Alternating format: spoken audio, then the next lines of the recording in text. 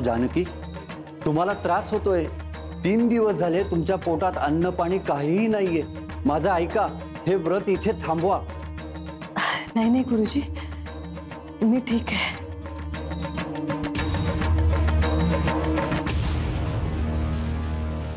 अहो, तुम्हीच म्हणालात ना, घेतलेला वसा टाकायचं नाहीये. मग हे केलेलं व्रत मध्येच कसं सोडू नये जोपर्यंत नाना शुद्धीवर येत नाही तोपर्यंत हे व्रत मी नाही सोडणार. देवी आई या पोरीची काळजी घे.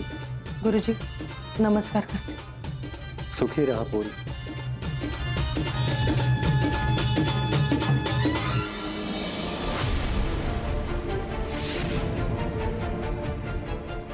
आई एकदा विचार कर की हे सगळं कधीपासून सुरू झालं? घरात दुसरी सून आल्यानंतरच ना? ऐश्वर्या यायच्या आधी आपण किती सुखी होतो? किती गुण्यागोविंदानं राहत? होतो मग आत्ताच असं काय बदललं ग? सारंग काय झालं? तुम्ही असं टेन्शन मध्ये का बसलं? ऐश्वर्या मी तुम्हाला काही विचारलं तर खरं खरं सांगाल का? हो पण नक्की झालंय काय? हे बघा दादा आणि आई खाली बोलत होते. आणि आणि काय? हे बघा दादा असं म्हणाला की तुम्ही ज्या दिवसापासून या घरात आलाय त्या दिवसापासून या घरात भांडणे सुरू झाली. तुमच्यामुळे या घरातलं सगळं बिघडत चाललं आणि आज तुमच्यामुळेच आईने जानकी वहिनीच्या हातातून किल्ल्या काढून घेतल्या. चूक काय बरोबर काय मला माहित नाही ऐश्वर्या. मला एक गोष्ट सांगा. तुम्ही काही केलं नाही आहे ना?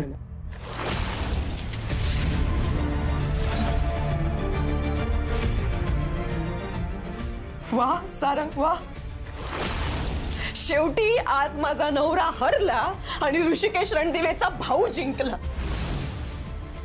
तुम्ही ना जानकी वहिनींच्या इन्फ्लुएन्स मधून कधी बाहेर येणारच नाही.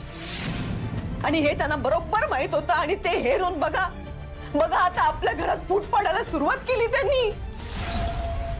मला वाईट याच गोष्टीचं वाटतंय की की तुमचे दादा पण आपल्यामध्ये डिस्टन्स क्रिएट करतायत. नाही. नाही नाही नाही काय? आताच तुम्ही म्हणालात ना की ते बोलत होते आईंची म्हणून. आणि तुम्ही येऊन मला प्रश्न विचारला की ते सगळं मी केलंय का म्हणून? सारं हो या घराच्या रीतीभाती शिकले हो मी. माझा मान सन्मान मर्यादा मी सगळ्या बाजूला टाकल्या. तुम्हाला तुम्हाला तुम्ही जसे आहात तसं मी मनापासून स्वीकारलं. इतकं प्रेम केलं मी तुमच्यावर. स्वतः पलीकडे जाऊन मी नेहमी या घराच्या भल्याचा विचार केला आणि आणि आज माझा नवरा मला मला विचारतोय की हे सगळं मी केलंय का? माझ्यावर संशय घेतोय. नाही संशय नाही पण कमाल आहे कमाल. नाही नाही नाही, नाही. ठीक आहे ठीक आहे. सगळं मी केलंय ना? नाही सगळे बोला तुम्ही. सगळे मलाच बोला. सगळं मीच करते मीच केलंय वाईट. मीच नानांना ढकललं. मीच नानांच्या खोलीत साप सोडला. सगळं मीच करते. या घराच्या वाईटावर पण मीच उठले मी केलंय सगळं. नाही हे बघा सारंग आता बोलतोच आहे ना आपण. तर अजून काही आरोप करायचे राहिले असलं तेही करून टाकता ऐकते मी बोला. अरे माझं ऐका माझं माझं असं काही म्हणणं नाहीये. मला संशय नाही मला मला तुमच्यावर विश्वास आहे ऐश्वर्या. मला माहिती आहे तुम्ही असं नाही करणार. ऐश्वर्या खरंच सांग. पण काय का? अहो जानकी वहिनी असं काही करेल हे मानायला माझं मन तयार नाही हो नाही बरोबर आहे. का करतील ना त्या? जानकी वहिनी या घरची थोरली सून. त्यांचा मान पहिला त्या या घरचं नंदनवन करतात आणि मी मी काय करते? मी नरक करते ना? नाही, नाही. अरे मग का? का ठेवलंय? का ठेवलंय मला या घरात? ऐश्वर्या. अरे मारा ना मला मारा. हकलून द्या. मी तर म्हणते धक्के मारून हकलून द्या मला या घरातून. काय झालं? जमत नाही का तुम्हाला? हिंमत नाही का तुमच्यात मग मला सांगा ना. मी करते. मी करते. मी ऐश्वर्या करते. ऐश्वर्या ऐश्वर्या प्लीज प्लीज असं नका करू. ऐश्वर्या प्लीज सोडा हो मला. ऐश्वर्या प्लीज नाहीये माझी लायकी नाहीये माझी लायकी. मी या घरात आल्यापासून या घरात प्रॉब्लेम सुरू झालेत ना. अहो मग मी कशाला या घरात? काय मी या घरात? काढा ना मला या घरातून बाहेर. ऐश्वर्या, तसं- बस झालं. मी ऐश्वर्या मी- ऐश्वर्या तुम्हाला त्रास होतो मी मी मी इतकं प्रेम करते तुमच्यावर. इतकं प्रेम ऐश्वर्या प्लीज़ ऐश्वर्या तुम्हाला. ऐश्वर्या त्रास होतो थांबा थांबा थांबा ऐश्वर्या तुम्हाला त्रास होतो काय करू. ऐश्वर्या थांबा. पाणी पाणी ऐश्वर्या- थांबा थांबा ऐश्वर्या थांबा ऐश्व- ऐश्वर्या पाणी नाही राहायचं मला या Please, घरातच नको. ऐश्वर्या माझा ऐका पाणी घ्या पाणी घ्या ऐश्वर्या ऐश्वर्या प्लीज़ माझा ऐका तुम्हाला त्रास होते पाणी घ्या प्लीज़ घ्या घ्या पाणी घ्या प्लीज़ मी मी एका सटीवर पाणी मला अट मान्य ऐश्वर्या कुठली अट प्लीज़ इथून पुढे. कुणाच्याही सांगण्यावरून तुम्ही माझ्यावर संशय घेणार नाही. नाही घेणार. कधीच नाही घेणार. ऐश्वर्या पण पाणी घ्या प्लीज़ पाणी घ्या.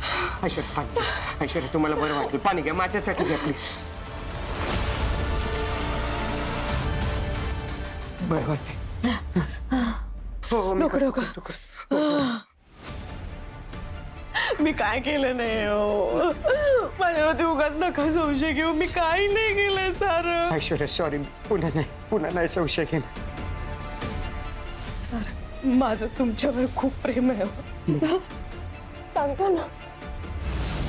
तुम्ही माझ्यावर विश्वास ठेवाल ना? हो. हो तुमच्यावर नाही ठेवणार तर कोणावर विश्वास ठेवू? नशीब नाका तोंडाशी आलेलं पाणी कसे बसे हाथ हातपाय मारून मी जीव वाचवलाय आज माझा. जानकी तर जानकी आता तो ऋषिकेश पण आईचे कान भरू लागलाय. आणि त्यांचं ऐकून हा डिफेक्टिव्ह पीस पण बिथरला. बापरे. आजी म्हणते, तसं मी गाफील राहायला नको. हे जानकी ऋषिकेश स्वतःला सिद्ध करायच्या आधी मी सगळे पुरावे नष्ट करायला हवे. एक काम कर. ठीक आहे.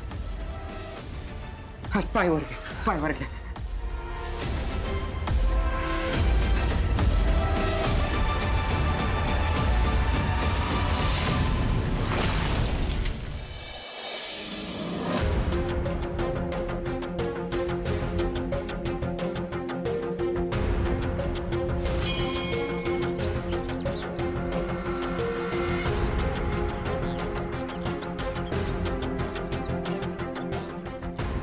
आता तरी सांगणार आहेस तुम्हाला सोबत का घेऊन आली असते सांगते.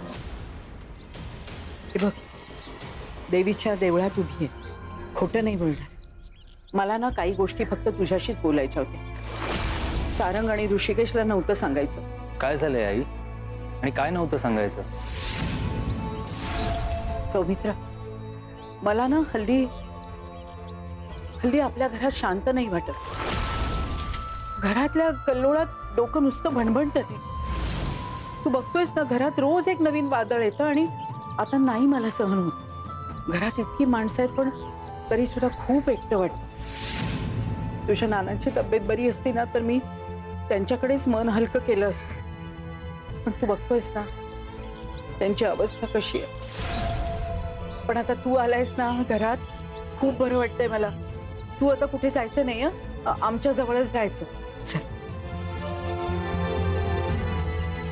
अरे चल कसला विचार करतोयस ऍक्च्युली आई तुला काहीतरी सांगायचं होतं. म्हणजे इनफॅक्ट विचारायचं होतं. घरी अवंतिका एकटी आहे. सो मी असा विचार करत होतो की तुला जायचंय? का रे असं वागतो? अरे ऋषिकेश सारंग त्यांच्या बायकांचा विचार करतात. मग मग माझा आईचा विचार कोण करणार? निदान तू तरी विचार कर. नको ना जाऊस. तू थांब ना आमच्या जवळ. आई अगं मला थांबायचंय. पण अवंतिकाची तब्येत थोडी डाऊन आहे आणि त्यात ती एकटी आहे. म्हणून मी म्हटलं की ठीक आहे. जात आईचा विचार कोणीच करू नका. आई असं नको ना गं बोलूस. हे बघ मी लवकरच परत येईन.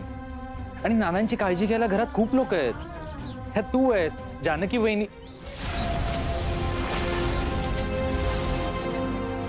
अरे हो. जानकी वहिनीला नानांच्या रूम मध्ये जाण्यापासून तू अडवलंयस, नाही का? घे घे. तू सुद्धा तिचीच बाजू घे. तूच राहायला होतास फक्त.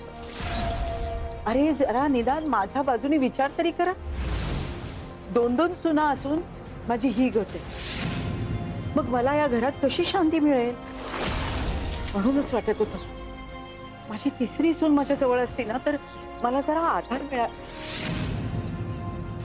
सौमित्र, अरे ही कल्पना किती चांगली आहे. तू अवंतिकाला घेऊन आपल्या घरी ये ना. अगं आई. नाही नाही.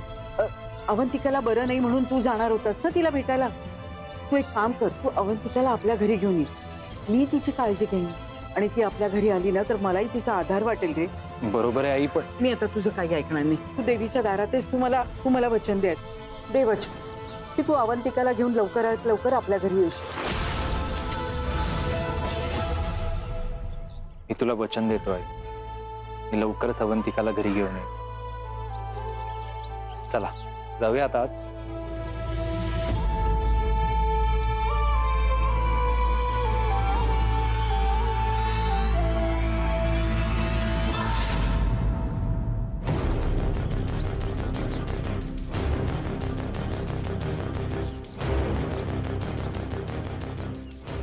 नमस्कार सुमित्राताई.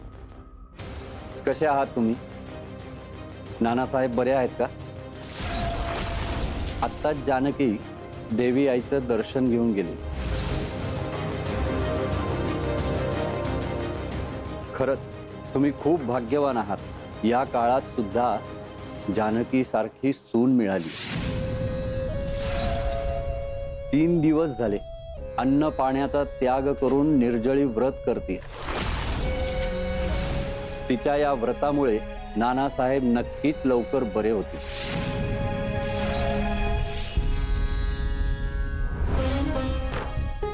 प्रत्येक वेळी आपल्याला दिसणारी बाजूच बरोबर असते असं नाही ना? या गोष्टीची दुसरी बाजू असू शकते.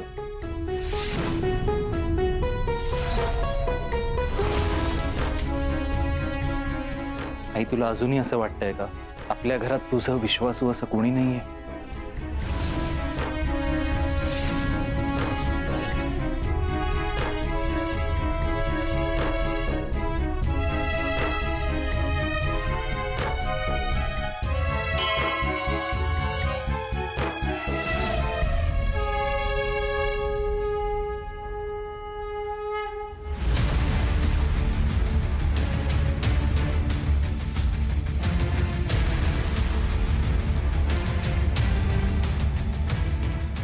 माझ्यावरचे सगळे संशय तुझ्यावर फिरवण्याचा हा एकमेव पुरावा आहे माझ्याकडे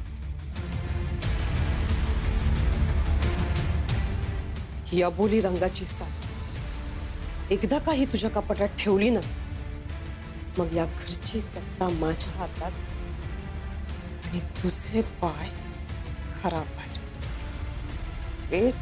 watch.